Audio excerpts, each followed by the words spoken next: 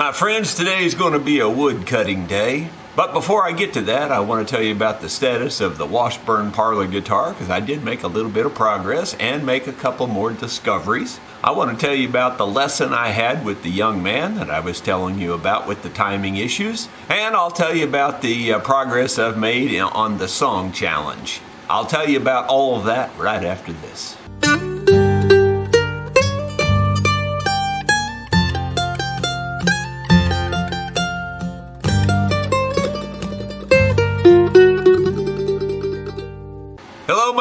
Jerry Rosa here in the Rosa Stringworks Workshop. It is Thursday, January 19th.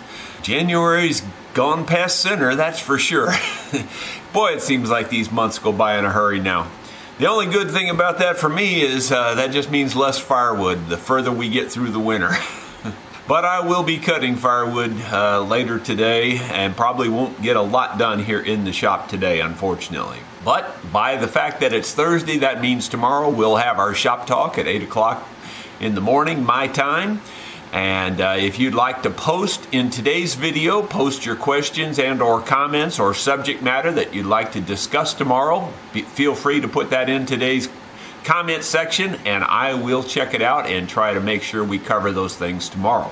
I mentioned I made some progress on this parlor guitar, this Washburn. First of all, uh, the owner bought a book on these and found out that this I, I, don't know the exact year of this, but he found out that this is, you know, in the mid 1880s, roughly, uh, give or take a few years. It's, I'm going to say it's an 1885-ish. Part of the identifying thing is these uh, friction tuning keys. The discovery I made on this is I looked inside and I'm going to, you know, in the full video, you'll probably get to see an internal video where I'll take the, the little uh, snake camera and go inside there and show you. But what I thought was odd is that the, the uh, bridge plate on the inside is in a location like that. You see where the holes are showing? That's where the bridge pl plate is located on the inside. Now what I thought might have happened is the bridge plate might have broke off. Maybe there was bridge plate in front there. I haven't really determined if that's the case yet or not. It looks like it was made this size and put in that location to me because uh, the bridge plate itself is beveled on all four edges so it doesn't look like it broke but I've got to do more investigation on that. The problem with that bridge plate being in a place like that is that it allows the strings to pull up on the raw top because those string buttons are pulling right up on this spruce and that's not a good thing. In fact, that's probably what broke out some of this here because uh, of that. So anyway, I'm going to have to address that, I think. I don't think I can just leave it like that. Not in good conscience anyway. So it looks like I've got my work cut out for me on this puppy. I've definitely determined I'm going to need a neck reset on this as well. And I did make progress in the fact that I made start the starting of a bridge. This bridge, I, I looked online at, at uh, the information the customer sent me, and this appears to be a very similar bridge to what was on this thing originally. Of course, it would go right there.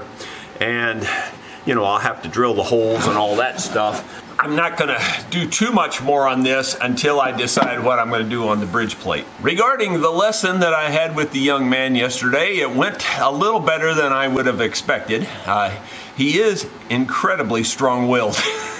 In other words, he'll let you know what he thinks about pretty much everything. pretty quickly too. He is presently nine, but he will soon be uh, 10. So to me, I've said before, and I've said even on this channel, that 10 years old is the magical age. If you can catch a person when they're 10 years old, it's the magic age for learning music. It really is. And you know, everybody I'm sure has their own opinion, but here's my basis for that opinion. The coordination and the brain have caught up with each other at age 10. In other words, you know, at say age seven or eight, their hand coordination and their brain processing and all that just doesn't work as well as it does when they reach age 10. I've come to that conclusion because I've taught a lot of kids how to play music, and at age 10, it just seems like it clicks and they take off. So I'm really anxious to work with him, and hopefully, he'll turn out to be quite a musician. Now, in regard to the song challenge, I really had a lot of chuckles reading your lines and different things yesterday. Unexpectedly, the very first one I read is probably the one I'm going with. I like the theme and the idea behind it, and I'm kind of trying to write a song around that. So all the rest of them were just decoration and, and fun for me to read them. And uh, you know, some folks even went so far as to write the whole song, and even one wrote it twice, wrote two different versions of a song. And I liked it. It was very good. I, I enjoy all of that. It's uh, I had a good time with the whole thing.